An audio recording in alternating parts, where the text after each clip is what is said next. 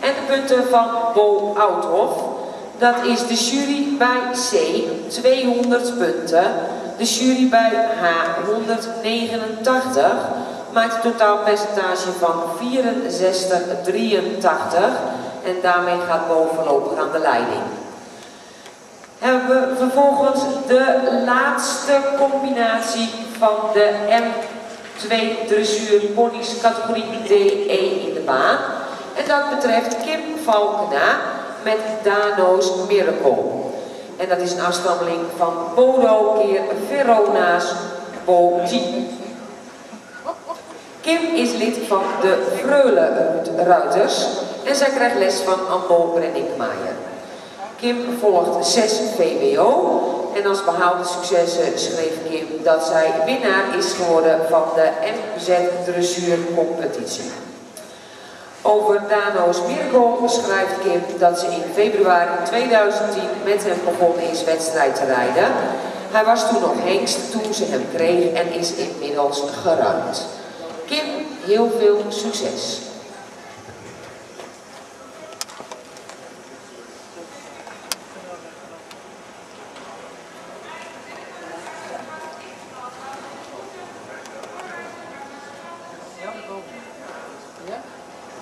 ik heb die wat hoger nou. En dan hebben we.